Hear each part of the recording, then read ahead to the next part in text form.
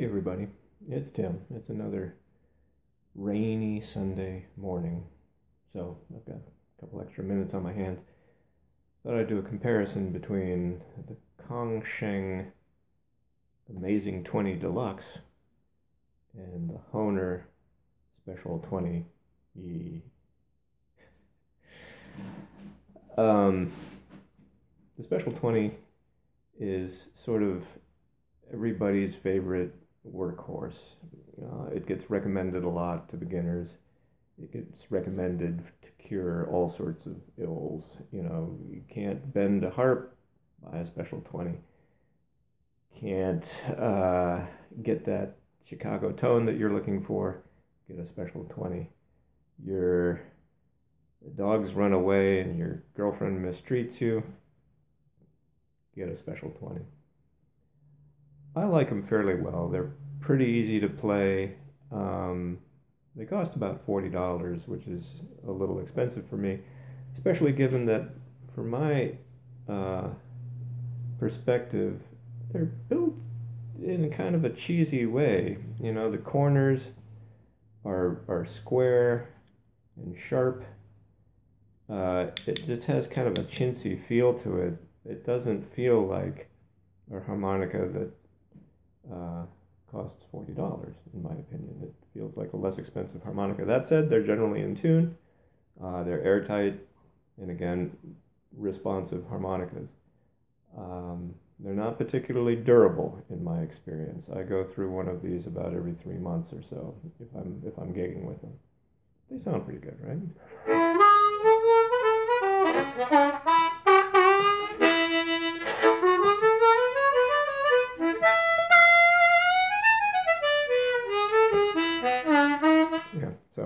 Sounds like a harmonica, right? Well, based on the name anyway, obviously the Kongshengs were trying to jump on the everybody should have a special 20 bandwagon and called their harmonica an amazing 20 plus the deluxe. And these are $15. So the first thing I noticed about these is that they at least went through the trouble of rounding the corners. The construction is about as cheesy as the Special 20, or put it another way, it's every bit as good as the Special 20. Um, it sounds about the same.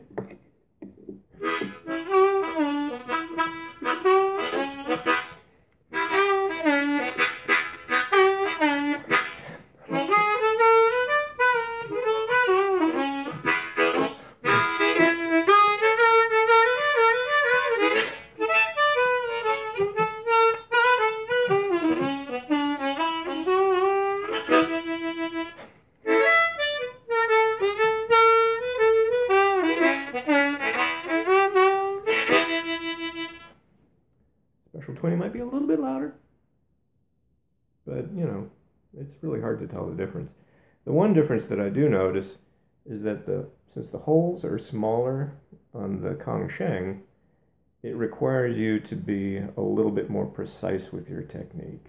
You know, you can't just play, you know, you can't put it in your mouth and play without thinking about it. So you know, when I'm gigging, I don't really want to have to think about things all that much. Now, it's not a big deal. It doesn't seem like a big deal, but for me, you know, these small holes sort of trip me up just a little bit.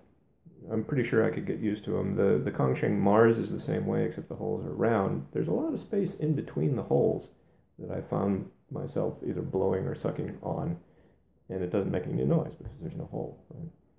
Um, so if you're a lazy harmonica player, uh, the, the small holes might trip you up just a little bit.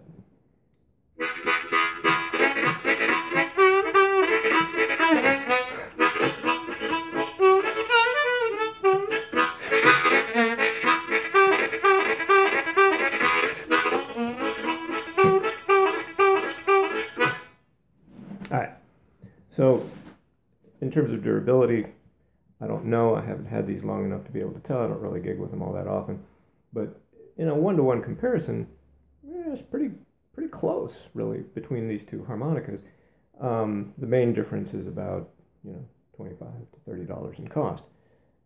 That said, so I got three of these. I got this one, which is in A. I got this one, which is in F. Sounds like an F harp. The keys are in the back too, which is kind of a weird place for them.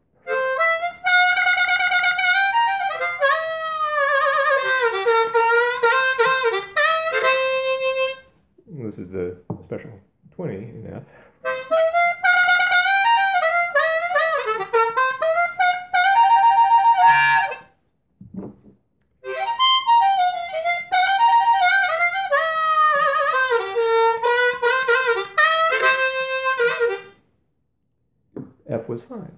compares favorably to the special 20.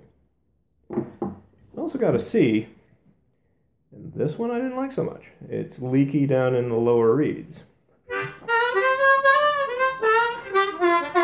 I tried to gap them, but there's still some air whistling through there, so probably what I'd have to do is I'd have to take it all apart, flat sand the, the, uh, the reed plates and stuff like that.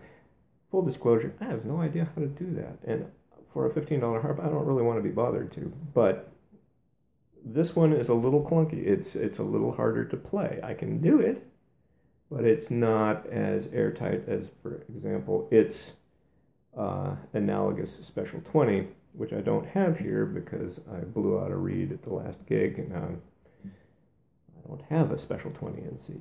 Anyway.